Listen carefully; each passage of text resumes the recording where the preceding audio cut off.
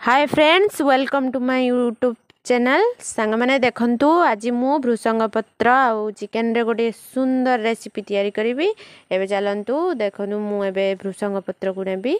ତାପରେ ମୁଁ ମୋର ଚିକେନ୍ ରୋଷେଇ ଆରମ୍ଭ କରିଦେବି। ଚିକେନ୍ ଆଉ ଆଳୁ ପିଆଜ ସବୁ ବାଟଣ ସବୁ ନେଇ ଆସିଛି। ଏବେ ଆମେ ଆରମ୍ଭ କରିବା ଚିକେନ୍ ରେସିପି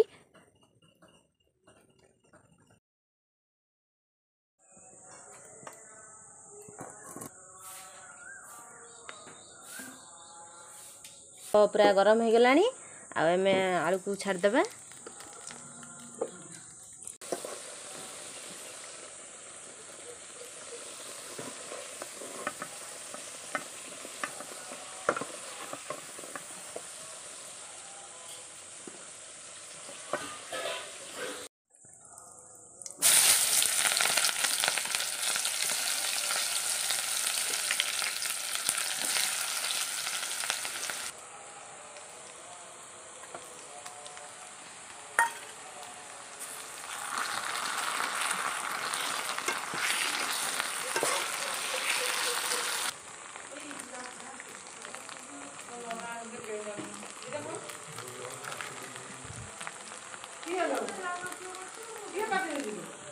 Na.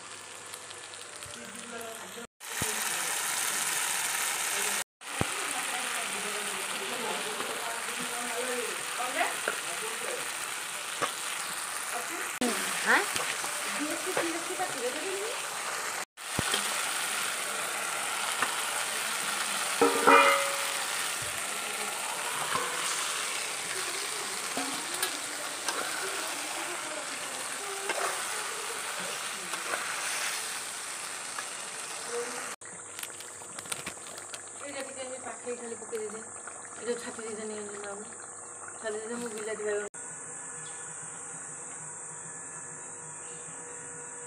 ତରକାରୀ ପ୍ରସ୍ତୁତ ହେଇଗଲା ତାପରେ ଅଳ୍ପ ଭୃଷଙ୍ଗ ପତ୍ର ଦେଇଦେବା କିଛି ସମୟ ଫୁଟିବା ପାଇଁ ଛାଡ଼ିଦେବା ଫୁଟି ସାରିଲା ପରେ ଆମର ଚିକେନ୍ ତରକାରୀ ପ୍ରସ୍ତୁତ ହେଇଯାଇଯିବ